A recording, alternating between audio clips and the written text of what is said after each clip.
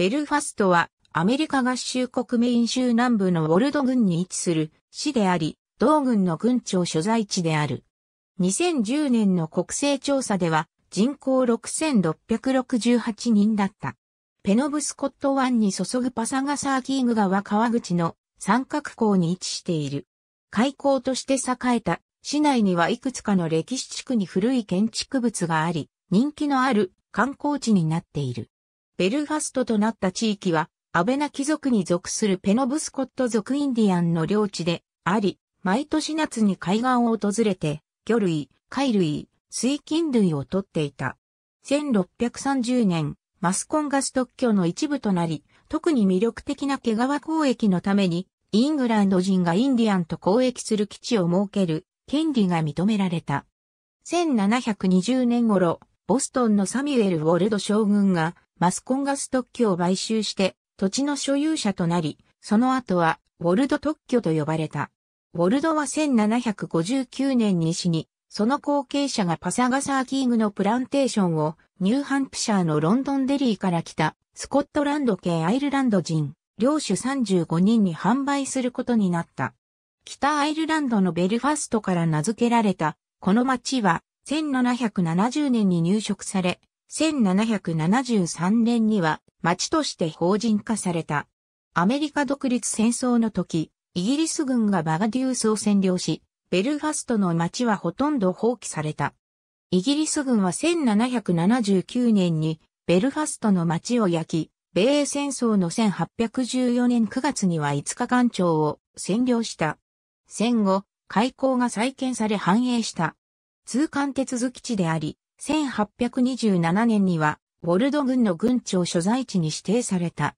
1845年、領域の一部が分離されシアーズポートとなった。ベルファストは1853年に州内8番目の都市として法人化された。造船業の中心として発展し、数百隻の3本、4本、5本マストのスクーナーを建造した。木造船の材料は19世紀後半の北、アメリカ木材の首都と言われた番号からペノブスコット川を下って運ばれてきた。造船業者は裕福となり、連邦様式、ギリシャ復古町、イタリア様式の邸宅や公的建築物を建設し、そのことで知られるようになった。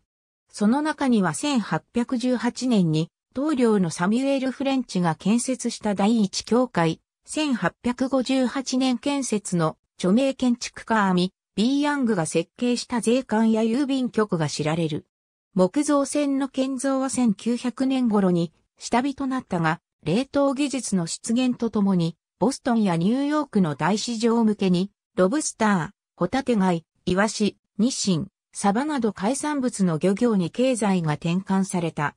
ベリファストムースヘッドレーク鉄道の鉄道橋、ベリファストから33マイル内陸にあるバーナムでメインセントラル鉄道の本線に軍全体を接続したのがベリファストムースヘッドレーク鉄道であり、市がその大半を所有し、1871年に開通した。その最初の55年間は、ベルファスト支線としてメインセントラル鉄道に賃貸されて運行されたが、大きな道路ができて、賃貸契約が終わり、1926年1月1日に、ベリファストムースヘッドレーク鉄道の運行に戻された。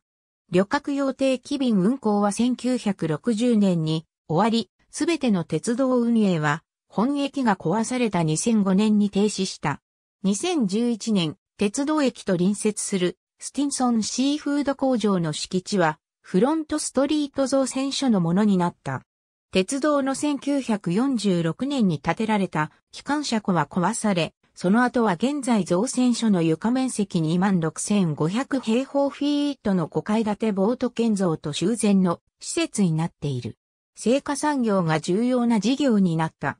しかし、第二次世界大戦後、ベリファストの経済は、州内でも2大企業である、メープルウッドとペノブスコットプールトリーという養鶏産業が推進してきた。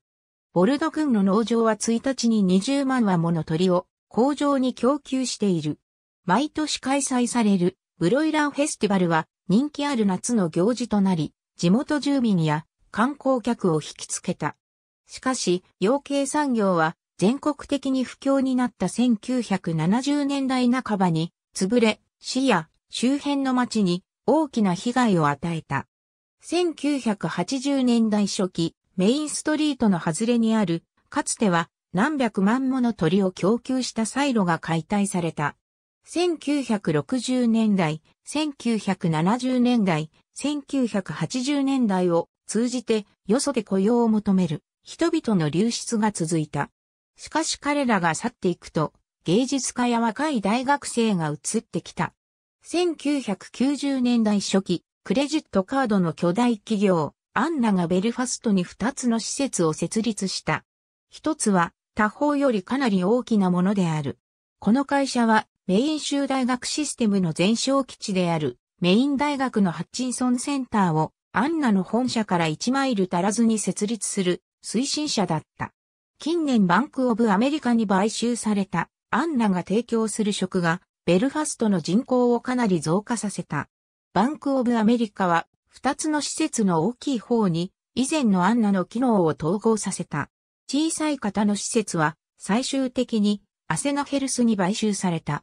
ベルファストで撮影された映画としては、1957年のペイトンプレイス、1996年のスティーブン・キング、痩せゆく男、2001年のインザ・ベッドルームがある。ベルファスト市は、北緯44度25分33秒西経69度、0分42秒、北緯44.42583度西経69.01167度、44.42583-69.01167に位置する。アメリカ合衆国国勢調査局によれば、地域全面積は37.37平方マイルであり、このうち陸地34.04平方マイル、水域は4.33平方マイルで、水域率は11.28%である。ペノブスコット湾に面し、市内をパサガサワキーグ川が流れている。ベルファストの気候は季節によって温度差が大きいのが特徴であり、夏は暑くて湿度が高く、冬は寒くて乾燥する。欠片の気候区分によれば、湿潤大陸性気候、略号では DFB にあたる。アメリカ合衆国税関、1910年頃、アミビー・ヤングが設計以下は2010年の国勢調査による人口統計データである。以下は2000年の国勢調査による人口統計データである。造船業が栄えた時代のギリシャ復古町邸宅、1920年頃の絵はがき登録有権者数ベルファスト教育学区第34地区にある2009年時点の学校は以下の通りである。下記の公立小学校3校は2000年代初期に閉校になったベルファスト教育学区第34地区に入る町は以下の通りである。メイン州の多くの学校が経費節減のために他の地区の学校との統合を強制されている。このために第34地区は2009年秋に第56地区と統合され、新たにラサ20地区となった。上記以外に新しい教育学区に含まれるようになった町は次の通りである。教育費が高騰し、生徒の教育について町単位の統制ができなくなったことで、州内のいくつかの町が不満を抱き、統合された大きな教育地区からの脱退を検討しているところもある。そういった町の一つがストックトンスプリングスであり、ラサ20地区からの脱退を2014年3月25日の住民投票で決めた。実際にラサ20地区に入る8つの町すべてが、その程度に差があるものの脱退の検討をしている。ベルファストでは、ラサ20地区から脱退した場合の教育と財政の影響について報告書を作成するために2万5千ドルを使うことを2014年2月に決めた。以前は教育学区の統合が費用を節減し生徒の教育価値を高めると考えられていたが、統合にそれほどの効果はないというのが一般的な見解になっている。ラサ20地区は数年のうちに解体されることも予測されている。蒸気船鳩場、1920年古い酒場、1910年、頃関連図書。ありがとうございます。